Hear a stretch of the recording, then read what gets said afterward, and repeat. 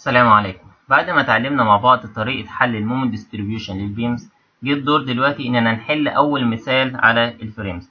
وفي اتفاق مهم هنتفقه مع بعض دلوقتي إن أي مسألة frame مطلوب نحلها بطريقة ال moment distribution لازم نتأكد في البداية إن ال frame ده without sway معنى كده إن لو ال frame ده فيه sway هل ما ينفعش أحله بطريقة ال moment distribution؟ لا ينفع نحله بس بنحله بطريقة غير مباشرة. يعني بنتحايل كده على المسألة شوية عشان نعرف نحلها بطريقة ال moment distribution. لكن عشان أحل frame بطريقة مباشرة كده بنفس الخطوات اللي كنا بنعملها في أي مسألة beam حليناها مع بعض قبل كده لازم يكون ال frame ده without sway ولو أنت مش فاكر الفرق بين ال frame with sway و without sway كنا شرحنا الكلام ده في فيديو قبل كده تقدر ترجع له. طيب أنا ال frame اللي قدامي ده without sway عرفت من فين؟ عشان ده frame متماثل فبالتالي ال joint B و C مش هيحصل لهم sway. فأنا أقدر كده أطبق عليها نفس الخطوات اللي كنا بنعملها في أي مسألة beam. بس الأول قبل ما نبدأ نشتغل في المسألة الأول تعالى ناخد نسخة من شكل المسألة كده ونحطها على جنب عشان ال frame ده هنشوهه خالص زي ما هنشوف مع بعض دلوقتي. طيب أول خطوة كنا بنعملها كنا بنفصل كل span لوحده وهنا هنعمل نفس الكلام هفصل كل span لوحده يعني هفصل كل عمود لوحده وكل كمرة لوحدها. وبنحط في مكان الفصل fixed support وبعد كده بنجيب قيم ال fixed end moment بالنسبة للعمود AB معلوش أحمال تبقى ال fixed end moment ليه ب zero. نفس الكلام طبعا هيبقى العمود سي دي طب بالنسبة للكمرة BC هلاقي حملين. في حمل موزع وفي حمل مركز. عشان أحسب قيمة ال fixed end moment ممكن نحسبها بطريقة ال superposition أحسب لكل واحد لوحده بعد كده أجمع القيم مع بعض. نبدأ بالحمل الموزع. ده حمل موزع يطلع لك قيمة ال fixed end moment فيه WL تربيع على 12 يعني يطلع قيمته سالب 8 و8 طب الحمل المركز؟ ده حمل مركز في النص يعني قيمة ال fixed end moment ليه؟ PL ع التمانية يعني يطلع سالب خمسة وخمسة.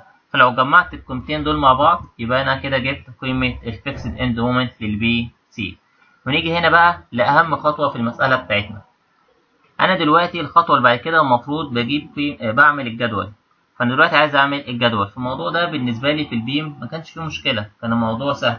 لأن الكمرة أصلا أفقية فكنت بعمل الجدول تحتها. هنا في عندي مشكلة. لأن عندي في هنا أعمدة رأسية وفي كمرة أفقية. فالموضوع جاي مش مظبوط. طب إيه الحل؟ الحل أنا عايز أخلي كله دلوقتي وضع أفقي. فهعمل الموضوع ده إزاي؟ برضه هنعمل تريكاية لطيفة كده. أنا عندي العمود ده. AB هعمل له rotate بحيث إنه أخليه جنب الكمرة دي. بس أهم حاجة وأنت بتعمل rotate لازم ال joints ال B الاتنين دول يبقوا جنب بعض. فأنا هلفه بالمنظر ده. ونفس الكلام. العمود ده اللي هو السي دي برضه هلفه بحيث تبقى ال joint الاتنين C جنب بعض. كأني بالظبط ال frame ده جبته كده وشديته فردته خليته على خط أفقي واحد. فبقت بدايته A بعد كده B C D. طب ليه عملت كده؟ عشان أعرف أعمل الجدول بتاعي تحت ال frame وميبقاش فيه مشكلة.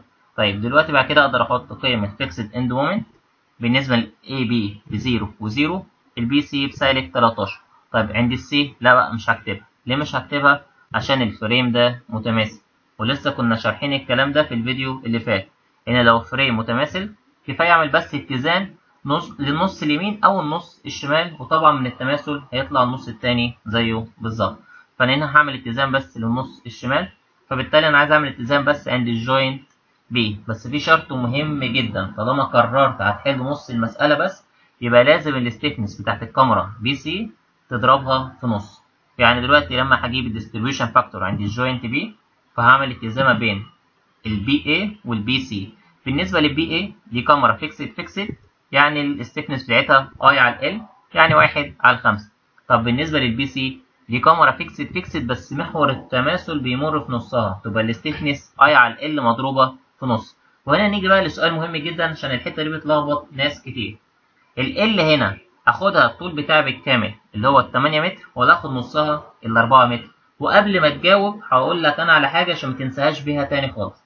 أنا لما جيت كتبت هنا ال stiffness كتبت ال K بتاعت BC يعني من أول B لحد ال C هو من ال B لل C طولها قد إيه؟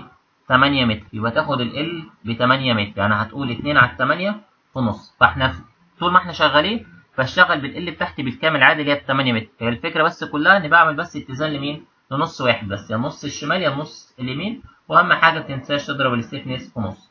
وبرده لما جبنا قيمه ال fixed end moment برده كنت باخد ال L بتاعتي طولها بالكامل هي كام؟ 8 متر. طيب اتنين هتطير مع الاتنين يعني تطلع لك النسب واحد على خمسة إلى واحد على تمانية.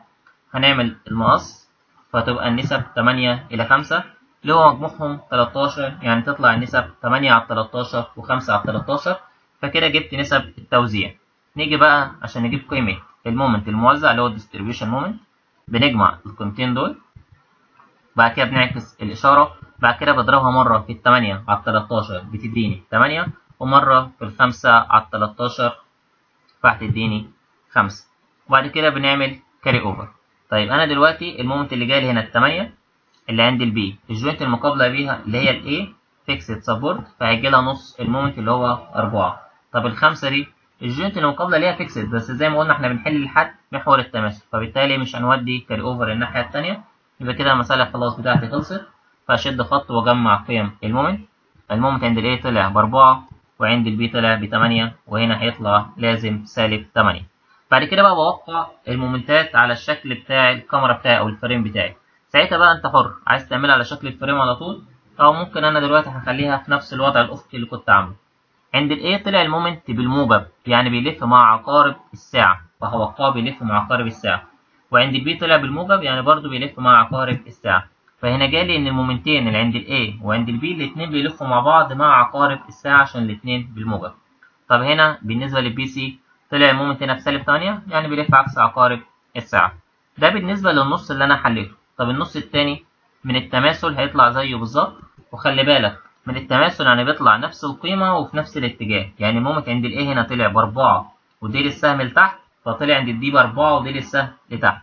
عند ال B هنا طلع بتمانية وديل السهم لفوق فعند ال C هيبقى بتمانية وديل السهم لفوق. تقدر بعد كده تتعامل مع كل كمرة لوحدها برضو وتطلع ال reactions وهتطلع لك بالمنظر ده. طب لو انت كنت حابب تخليها في الوضع بتاع ال frame كان هي هي مفيهاش أي مشكلة. كل بس الحكاية إنك هتعمل لها rotate بالمنظر ده فيبقى هو ده شكل ال frame بتاعك. طبعا لو عايز ترسم ال moment رسمة ال moment بالنسبة لي هنا بسيطة. انت عندك عند ال moment عند ال A؟ طلع بأربعة وعند ال B بتمانية. فهتوصلهم ببعض لأن ما عنديش أي أحمال على العمود. وبالنسبة للعمود التاني هيطلع برضو زيه بالظبط أربعة فوق بتمانية. وزي ما قلنا في الفيديو مش فاكر كان رقمه كام إن مش صدفة طبعا إن ال moment طلع هنا نص القيمة في عكس الاتجاه. لا لازم يطلع لك ال moment طالما العمود ده نهايته fixed support ومالوش أحمال بيطلع قيمة ال moment تحت. نص قيمة ال moment اللي فوق وفي عكس إيه؟ اتجاهه. طب بالنسبة للكمرة BC ال moment في البداية بتمانية ونهايتها بتمانية ونعلق ال parabola طب القيمة هنا في النص نجيبها إزاي؟ ممكن توصل خط dash وبتنزل من النص هنا بقى WL تربيع على 8 زائد PL على 4 عشان عندي كمان في حمل مركز. اللي هو مجموع الاثنين دول مع بعض يطلع لك ب 22 فأنا 8 minus 22 يطلع لك إن قيمة ال moment هنا ب 14 فلو الفيديو عجبك اعمل like. اما بقى لو ما عجبكش فاعمل dislike ما فيش مشكلة طبعا. ويا ريت تكتب لي في الكومنتات إيه اللي مش عاجبك في الفيديو. فشكرا والسلام عليكم ورحمة الله وبركاته. ونتقابل إن شاء الله في الفيديو اللي جاي.